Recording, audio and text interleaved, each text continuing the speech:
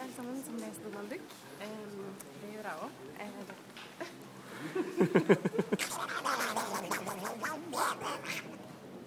Hva sa jeg nå? Jo, gjør som meg. Les Donald Duck.